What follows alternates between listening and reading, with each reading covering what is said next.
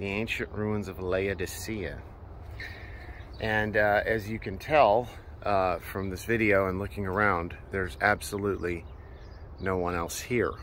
We are the only people here. Um, people in Turkey don't understand the significance of a place like this. uh, it's, it's out in the hills here. This ancient uh, Roman Greek city.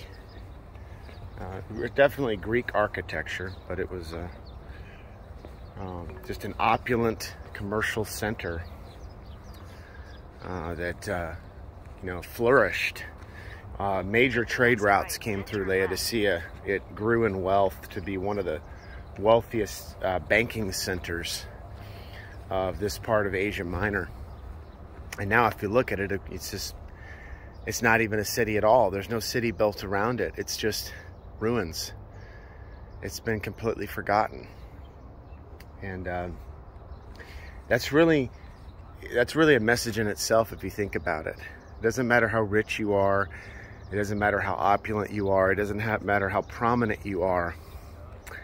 Um, this was a lukewarm church that had basically forgotten God, forgotten to serve Christ, and um, its name is forgotten. It's completely forgotten. Uh, the people that lived here are all forgotten. All their wealth, it's all gone. And uh, all they have left is an eternity to have to pay for the sins that they've done the if they didn't repent. Um, Laodicea is a um, it's a model of the American church the Laodicean church. The uh, lukewarm, the lazy, the opulent, the one that said they were increased with goods and had need of nothing. Yeah, Jesus said, You're poor, wretched, miserable, blind, and naked. A lot of Christians are that way.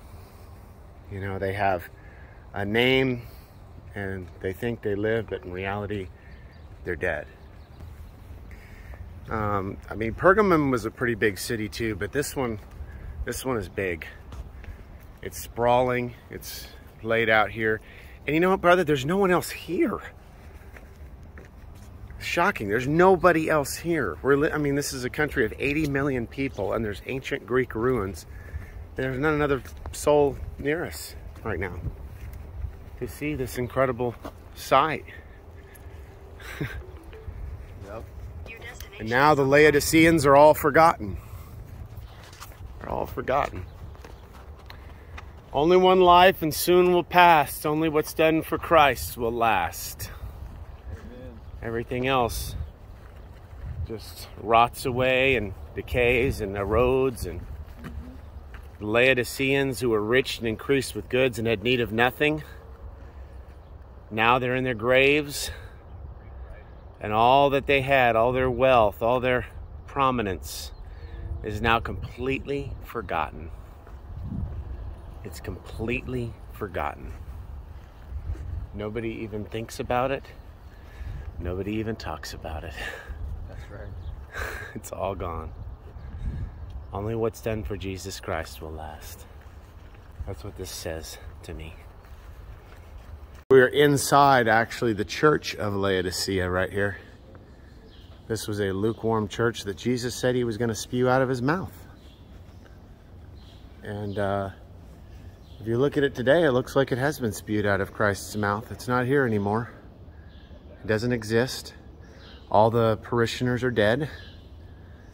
Probably a lot of them are in hell because uh,